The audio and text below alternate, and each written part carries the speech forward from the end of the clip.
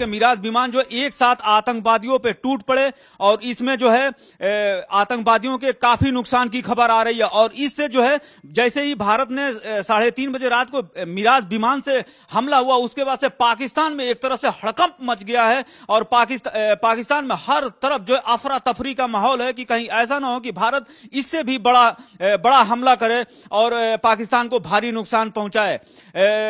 Major general Asif Ghafoor जो जो सेना के प्रवक्ता हैं आर्मी के प्रवक्ता हैं, पाकिस्तान के, उन्होंने खुद इसकी पुष्टि की है, उनकी बातों से लग रहा है, ट्विटर हैंडल पे इसकी पुष्टि हुई है, जिसमें जो है उन्होंने फोटोग्राफ डाले हैं, जहाँ पे बम गिराए गए हैं।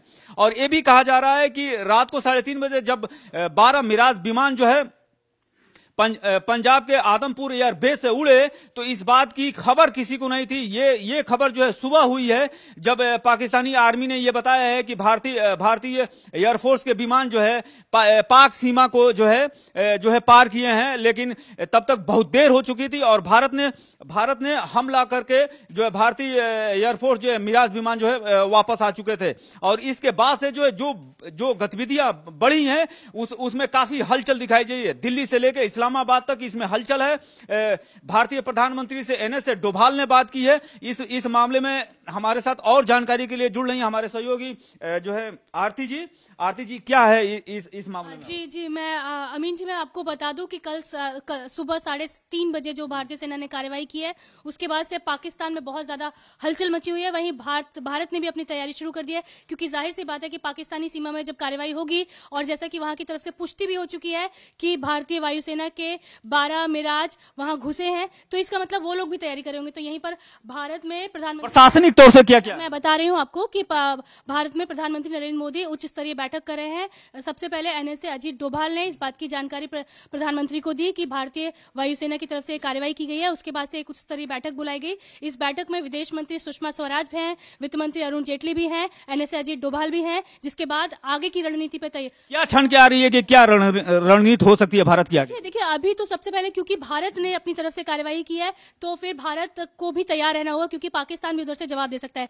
वहीं पाकिस्तान में भी एक बैठक बुलाई गई है जो वहाँ के विदेश मंत्रालय ने बुलाई है। शाह महमूद कुरैशी उसकी अध्यक्षता कर रहे हैं और विदेश मंत्री हैं पाकिस्तान। विदेश मंत्री हाँ विदेश मंत्री हैं पाकिस्तान के जो कि वो देख रहे हैं सारी चीज़ें क्योंकि वो भी आगे की रणनीति तैयार करेंगे। और हो सकता है कि पाकिस्तान भी इसका जवाब देने की कुछ कोशिश करे तो इसके लिए हमें अपनी सीमा पर हमें पहले से ही तैयारी करनी होगी। भारत भारत ने पहले से ही जो है सौ बटालियन भेज चुका है कश्मीर में बीएसएफ की जो है सीआरपीएफ की और और भी कैंप पहुँच गए हैं। तो दिल्ली में और भी कुछ हलचल है क्या? हाँ दिल्ली में अभी हलचल ये है मैं मैं आपको बताऊँ दरअसल अभी तो क्योंकि हमने अपनी तरफ़ से एक स्ट्राइक कर दिया है ठीक है? अब अगला कदम स्ट्राइक मत कहिए कहिए कि बदला लिया है भारत। नहीं ठीक है पुलवामा का बदला है एयर स्ट्राइक है जिसमें 200 से 300 आतंकी मारे गए ये एक बहुत बड़ी बात है और बहुत बड़ा बदला भी है क्योंकि जहाँ जिस पुलवामा हमले में हमारे 40 जवान शहीद हुए थे उसका बदला अगर ये खबर जो हमारे पास आ रही है 200 से 300 आतंकी मारे गए तो उसका बदला वो एक भारी नुकसान समझा जा भारी बहुत भारी नुकसान है और एक बहुत बड़ा हमला क्योंकि पीएम मोदी ने पहले ही संकेत दे दिया था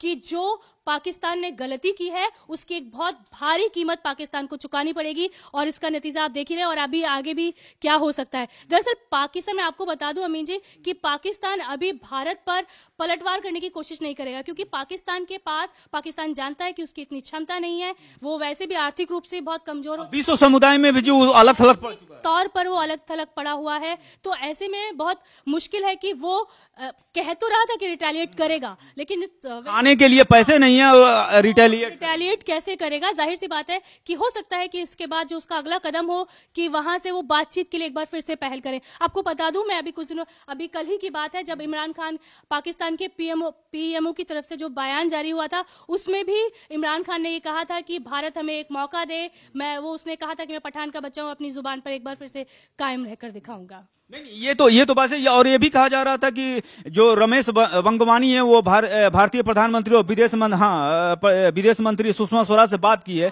लेकिन लगता है कि ये कुछ असर नहीं किया और भारत के जो भारतीय जनता का जो गुस्सा है वो जो है जो है खुशी में बदलने वाला और भारत सरकार ने वो किया है जो करना चाहिए था। जी जी बिल्कुल। दरअसल अभी कुछ दिनों जब कुंभ में उनको उनको निमंत्रित किया गया था तो उन्होंने शांति की वार्ता पहल की थी। उन्होंने कहा था कि नहीं दोनों देशों में युद्ध नहीं होना चाहिए। हम दोनों को शांति से रहना चाहिए। लेकिन जो इमरान खान ने जो अपने शांति दूत भेजे थे ज़ाहिर सी बात है कि हम हमेशा पाकिस्तान पर भरोसा क्यों करें? वो हमेशा कहता है कि इतना झूठ बोलता है कि उसके भरोसा करने लायक तो इस वक्त उसको ये दिखाना था कि नहीं बहुत हो गया तुम पर भरोसा अब हम पहले बदला लेंगे उसके बाद आगे की चीज़ देखेंगे। ये एक सीधा संदेश प्रधानमंत्री नरेंद्र मोदी ने दिया है कि आप भारत को अब हल्के में नहीं ले सकते। अगर हमने कहा है तो वो करके दिखाएँगे। ये थी आरती जी हमारी सहयोगी जो ये बता रही थी कि अभी तक जो है दिल्ली और इस्लामाबाद में क्या क्या डेवलप हुआ है। एक बार हम फिर आप आपको ये बताते चलें कि रात को साढ़े तीन बजे बारह मिराज विमानों ने जो है पाकिस, पाकिस्तान पीओके पीओके में जो है आतंकवादी ठिकानों पे जो है हमला किया है जिसमें भारी नुकसान की खबर बताई जा रही और जिसमें 200 से 300 जो है आतंकवादियों के मारे जाने की खबर है। अभी तक के लिए इतना ही। आगे भी और भी जो भी अपडेट होते होता है, हम आपको पहुंचाते रहेंगे।